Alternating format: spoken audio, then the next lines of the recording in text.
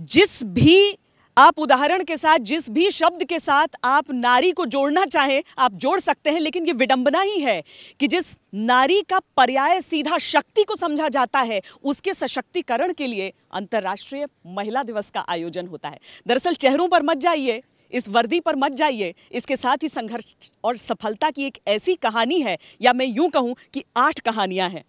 क्योंकि यहाँ पर भारतीय वायुसेना के जिस बेस पर हम यहाँ पर मौजूद हैं और जहाँ पर आप ये शक्तिशाली विमान हमारे पीछे देख रहे हैं, उससे ज़्यादा शक्ति इन सभी चेहरों, इन सभी शख्सियतों के साथ जुड़ी हुई है।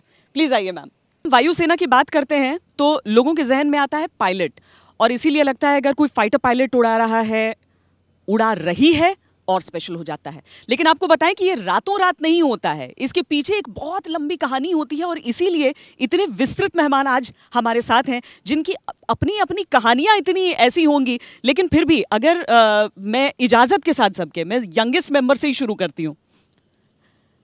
पूरा देश सोच रहा है कि आपने ये क्या कमाल कर डाला है। आपको एहसास हो रहा है कि आपने कमाल किया है? वेल uh, well, मैं ये कहूँगी कि uh, ये सिर्फ़ मेरा अचीवमेंट नहीं है। हाँ. पच्चीस साल होने वाले हैं इंडियन एयरफोर्स में वुमेन ऑफिसर्स को इंडक्ट हुए।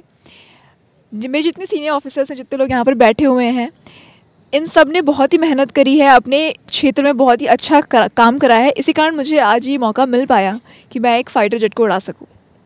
So I thank all of them for this thing और बोलने में क्या गजब की मेचोरिटी है मैम पच्चीस साल की बात कर रही हैं चौबीस साल की सर्विस आपकी हो गई है। जर्नी शुरू हुई बहुत अच्छी जर्नी शुरू हुई। एक बहुत बोल्ड स्टेप भारतीय वायुसेना ने लिया और बाकी दोनों सेनाओं को ये रास्ता दिखाया कि महिलाओं को उसमें आप इंडक्ट करें। और 25 साल में जो तरक्की हुई है, जो हम शुरू हुए थे, जो खाली मुट्ठी भर थे और कुछ ब्रांचेज में थे, उनसे हम आगे बढ़कर आज भारतीय वायुसेना के सारी ब्रांचेज में महिला ऑफिसर्स हैं। और इतना ही नहीं तीनों सर्विसेज़ में से मिला लें तो हाईएस्ट परसेंटेज अगर आप लगाएँ महिला अधिकारियों का वो भारतीय वायुसेना में है। पर ये सबसे बड़ी बात है आपने देखा होगा आज से कुछ साल पहले भारतीय वायुसेना में जो महिलाएँ शॉर्ट सर्विस कमीशन ऑफिसर होती थी तो वो अब हम परमानेंट कमीशन ऑफिसर हैं। मैं फ़र्स्ट बैच से। अच्छा। जब हमारे देश की फ़र्स्ट बैच जब इंडियन एयरफोर्स ने सोचा कि उनको विमेन को इंडक्ट करना है, मैं एयरफोर्स ही नहीं कहूँगी, मैं defence services of the country में कहूँगी कि जब पूरे डिफेंस फोर्सेस ने सोचा कि वेमेन की इंडक्शन करना है, क्योंकि अभी तक सिर्फ़ मेल ओरिएंटेड ऑर्गेनाइजेशन थी। But 25 five years back they thought कि हम विमेन को भी इंडक्ट करेंगे।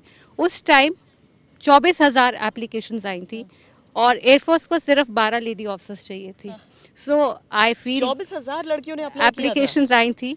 एंड uh, सिर्फ़ बारह लड़कियों ने uh, उसमें सिलेक्शन हुआ था। So I think it was a big landmark और उनमें से मैं थी। आज वॉज़ अ पाइनियर बैच और मुझे बहुत ही uh, इस मामले में गर्व महसूस होता है कि मैं अपने देश को 25 साल से सर्व करती आ रही हूँ और करती रहूँगी। मैम आपने रिटायरमेंट ली है। आपको ऐसा होता था क्या कि उस समय शुरुआती बैचेस में आपको मतलब क्योंकि बाकियों के लिए भी तो नई चीज़ थी कि लड़कियाँ आ रही हैं फौज में आ रही हैं हमारे वायुसेना में आ रही हैं। हाँ तो थोड़ा थोड़ा और सॉफ्टली डील किया जाता था कि ज़्यादा मत करवाओ कुछ। ऐसा कोई कुछ फेस तो नहीं करना पड़ता बिल्कुल भी नहीं।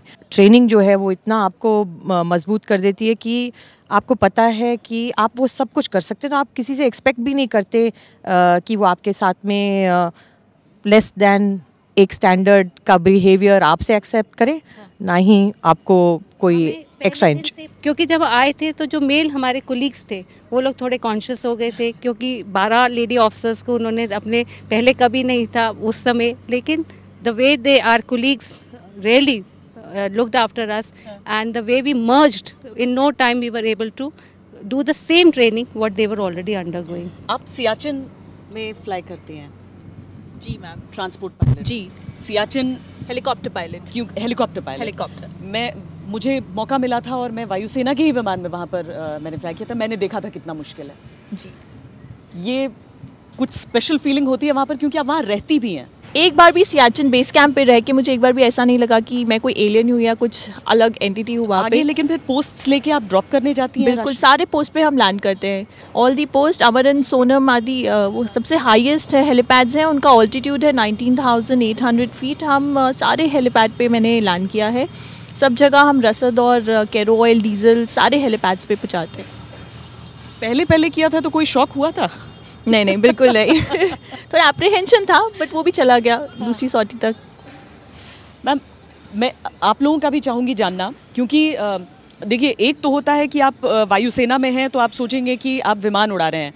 लेकिन उसके साथ ही जो एडवेंचर का एंगल आ जाता है ना वो भी अपने आप में छोटा नहीं होता है। इसीलिए मैं आप सबसे भी आपके एक्सपीरियंसेस और चाहें चाहूँगी कि आप सभी दर्शकों को बताएँ। आई गॉट मोटिवेटेड जब मैंने बहुत सारे बंदों को देखा है मतलब मैन को जो स्काई डाइविंग करते हैं। तो मेरे लिए all this man are inspiration but मुझे लगा कि मैं किसी uh, पुरुष को इंस्पायर करूँ। करूँ, so that was a big change which I wanted to make in the country so that's when I said I should take it up तो 99 में पहली बार मेरा जंप हुआ है स्काई डाइविंग और कर लिया आपने? मैंने अभी तक 848 स्काई डाइव किया है। 848 जंप्स आई होल्ड रिकॉर्ड किसी भी लड़की का सबसे ज़्यादा है किसी भी महिला। किसी भी महिला इन इंडिया। बिकॉज़ इंडिया में ये स्पोर्ट अभी भी बहुत स्प्रेड होना बाकी है। And thanks to air force air force ही एक ऐसा ऑर्गेनाइजेशन है जिसने मुझे ये मौका दिया है और it is still giving me that opportunity कि मैं इस चीज़ को कंटिन्यू करूँ।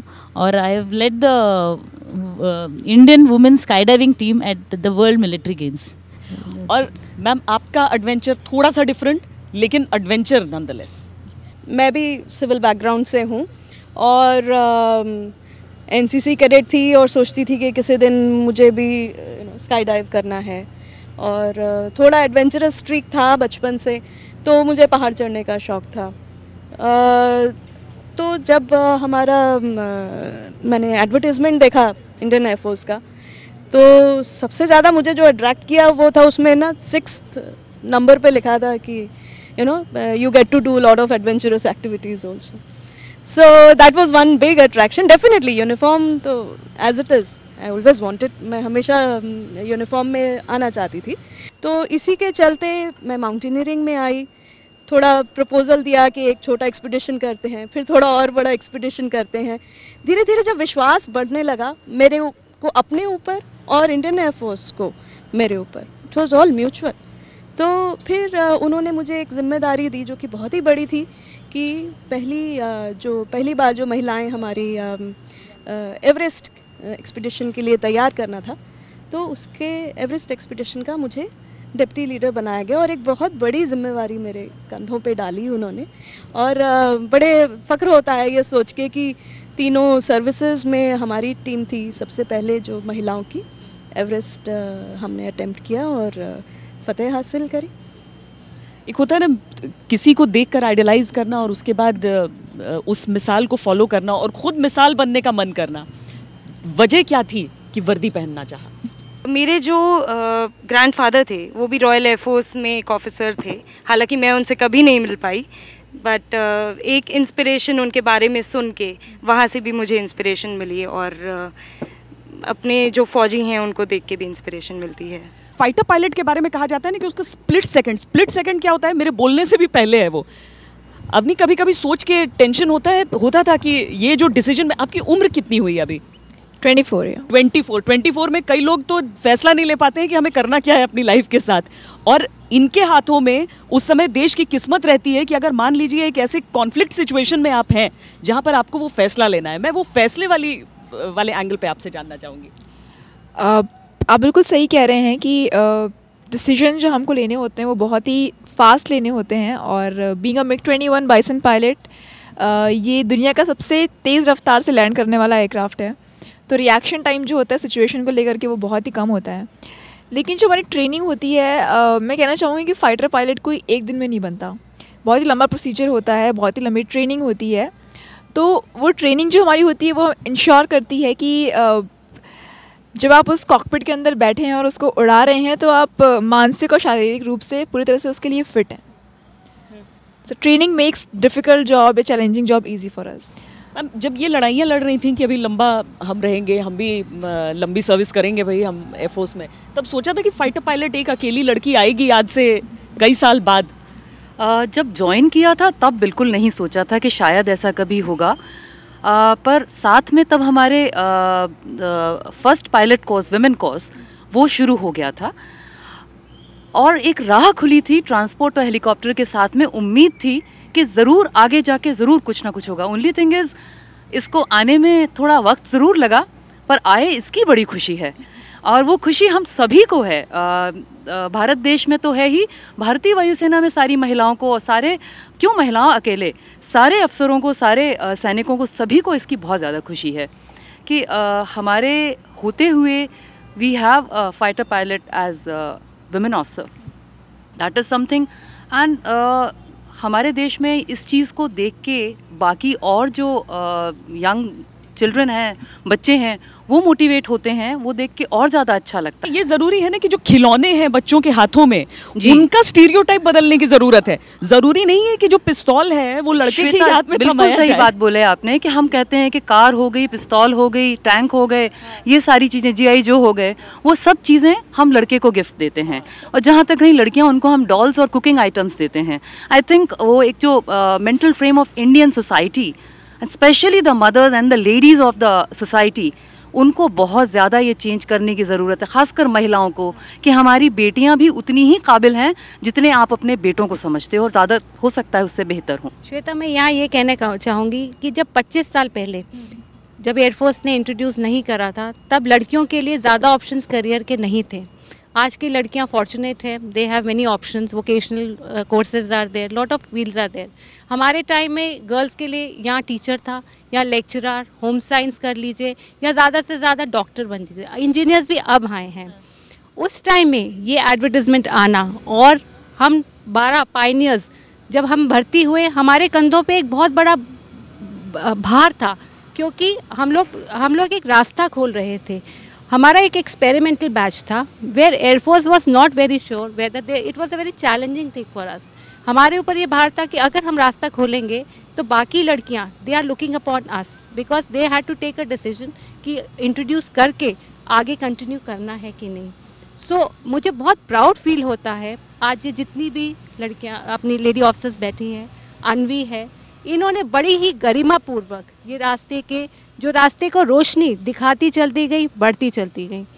अकेडमी में, हमारे एयरफोर्स अकेडमी में जो भी एक बैच पास आउट होता है वो एक कैनवस होता है जैसे कैनवस के ऊपर ब्यूटीफुल कलर्स लगने शुरू हो जाते हैं। ये सब कैनवस के ब्यूटीफुल कलर्स हैं जो हमारी एयरफोर्स को और भी ब्यूटीफुल रेनबो की तरह कलर्स देते हैं। मेरी बिटिया सिर्फ़ चार महीने की थी जब मैंने जॉइन बैक किया और छः महीने तक जब थी तब तक मैंने फ्लाइंग भी वापस शुरू कर दी थी। अ, वो कंसीव भी तब हुई थी और मुझे पता तब चला था जब हम कारगिल वॉर पे डिटैचमेंट पे थे। हाँ मतलब जी। आप फ्लाई कर रही थी उस दौरान जब आप प्रेग्नेंट थी? जी। हम इन वही बात है आई थिंक उस वक्त सिर्फ़ ये लग रहा था कि हम नॉर्मल सिचुएशन से बाहर हैं इसी चीज़ के लिए हम ट्रेन किए गए हैं। तो और दिमाग किसी तरफ़ जा ही नहीं रहा था कि अ, हमने और क्या करना है या लाइफ में और भी और भी चीज़ें हो रही हैं। बट बाय गॉड्स ग्रेस सब कुछ अ, यही चीज़ है कि इंसान सोचता है कि सब कुछ हमारे हाथ में है। हमारे हाथ से ऊपर बहुत सारी चीज़ें हैं तो मैं कहती हूँ इंडियन एयरफोर्स भारतीय वायुसेना से अच्छी कोई जगह ही नहीं है। एक पर्सनल एक्सपीरियंस बताना चाहूँगी मैं कि अ, मैं एक एरोनॉटिकल इंजीनियर हूँ और फाइटर्स पे ट्रेंड हूँ मिराज 2000 तो जब ट्रेनिंग के बाद जब पहली बार मैंने स्क्वाडन ज्वाइन किया तो आसपास के ही लोगों ने मुझसे बोला कि आप कैसे कर पाओगे? क्योंकि उस दौरान बहुत सी महिला अधिकारी नहीं सिलेक्ट होते थे फाइटर स्क्वाड्रंस में। तो आ, मुझे काफ़ी लोगों ने बोला कि आप कैसे कोप अप कर पाएँगे? बिकॉज़ अगर एक फ़्लाइट प्रिपेयर करनी पड़ती है एक सॉटी के लिए मॉर्निंग में अगर छः बजे उड़ान लेनी है उस एयरक्राफ्ट को तो सुबह तीन बजे हम लोग जाते हैं। तीन बजे जाके आप जो आपके मेन हैं आपके नीचे जो काम करते हैं उनको ब्रीफिंग देते हैं एयरक्राफ्ट को बाहर निकाला जाता है। It's a very hectic thing पूरा दिन आप लगे रहते हैं पूरे काम में। नाइट फ्लाइंग के लिए आना है आपको फिर अंधेरा होने के बाद तक भी और हमने आज तक पर दिखाया था ये रूटीन और अनबिलीवेबल रूटीन है तो अ, उनको मैंने बोला कि ठीक है आप मुझे कुछ टाइम दीजिए फिर इस चीज़ का मैं आपको जवाब दूँगी। और कुछ टाइम बाद जब वो मैंने अपने लिए एक मुकाम हासिल किया और अपनी एक जगह वहाँ पे सेटअप की, एक बनाया मैंने अपनी आइडेंटिटी तब उन्हीं लोगों ने आके मुझे कॉन्ग्रेचुलेट किया। तो it felt very nice and at least मैंने इतना सोचा कि एक थोड़ा सा मेरा कंट्रीब्यूशन रहा महिलाओं को आगे बढ़ाने का कि जिन लोगों को मुझ पर डाउट था, जिन लोगों को लग रहा था कि मैं कैसे कोप अप कर पाऊँगी, वो थोड़ा सा मैंने चेंज किया। क्या फ़िज़िकल ट्रेनिंग सेम है? बिल्कुल फ़िज़िकल बिल्कुल। आपको मैच करना है अपने मेल काउंटर पार्ट को सेम ट्रेनिंग है जब हम पहले दिन गए थे एकेडमी में हमारे को एक ही मोटो बोला गया था girls accept no concession give no concession उस मोटो से लेकर पूरी साल हम लोगों ने same training training was very rigorous मगर हमारे काउंटर पार्ट्स के साथ कहीं भी हमारे को कोई भी तरह का कंसेशन नहीं दिया था और हम लोगों ने पूरी ट्रेनिंग एक साल की अपने मेल काउंटर पार्ट्स के साथ मैं थोड़ा ऐड करना चाहूँगी हमारा पूरा ट्रेनिंग साथ में होता है बिल्कुल एक जैसा होता है। और जब खुशबू जहाज़ में बैठती है मैम अपने डेस्क पे बैठती है जब सिलेक्शन करनी होती है तो ये जेंडर चीज़ ना जहाज़ को पता होता है ना मेरा मेरा पैराशूट को पता होता है और जिस ज़मीन पे हम चलते हैं किसी को पता नहीं होता है ये जितने भी नॉन लिविंग थिंग्स को पता ही नहीं चलता है कि ये लड़का है कि लड़की। और ट्रेनिंग तो- के दौरान जो पनिशमेंट्स होते हैं वो होते हैं। सब सब सब रगड़ा। वगड़ा सब सबसे। सबसे ज़ोर शोर से उन्होंने कहा है। हाँ हाँ सेम होता है। लगता है मिली मिला है लंबा पनिशमेंट हम सबको मिलता है अगर है सबने एक ही तरह का ट्रेनिंग पैटर्न अंडरगो किया है। हमने एक साथ उतने ही 45 किलोमीटर रन भी किया है। उतना ही रोलिंग किया है उतने ही पनिशमेंट उस समय हम काला रंग गोरा रंग नहीं देखते हैं। हमें सिर्फ़ नीली वर्दी का रंग दिख रहा होता है। एक ही कलर दिखता है वो है नीला। साथ में पनिशमेंट्स जब होती हैं गलती शुरुआत में गलती चाहे एक करे कामरेडरी बढ़ाने के लिए it is not punishment I would say it is a corrective drill okay तो उसमें करेक्टिव ड्रिल में जो रहता है वो कहीं कोई भेदभाव नहीं होता है। कि आप महिला हो, पुरुष हो, आपने और गलती एक ने करी है तो सबको मिलेगा कि आगे से अगला जो बंदा है वो गलती ना करे। और वो बहुत ही, वो जो मोमेंट्स आप जो एकेडमी में ड्यूरिंग ट्रेनिंग अपने कोर्समेट्स के साथ में जीते हो, वो ज़िंदगी भर की यादें हैं। बहुत बहुत धन्यवाद। मतलब जितनी खूबसूरती से आप सबने अपनी बातों को रखा है, वाकई कहते हैं ना कि सपनों को उड़ान, सपनों को पंख लगना, पंख खुलने दो, उसके उड़ने दो। अब वायुसेना से बेहतर कौन समझा सकता है इन बातों को? इसीलिए जब अंतर्राष्ट्रीय महिला दिवस पर हम यहाँ पर आए हैं, उन सशक्त महिलाओं के साथ, जो आपको बता रहे हैं कि सशक्तिकरण का मतलब दरअसल क्या है, और मुझे वो वो बात बहुत अच्छी लगी कि नमक आपने भी खाया है, जो महिलाएँ हैं, उन्होंने भी खाया है।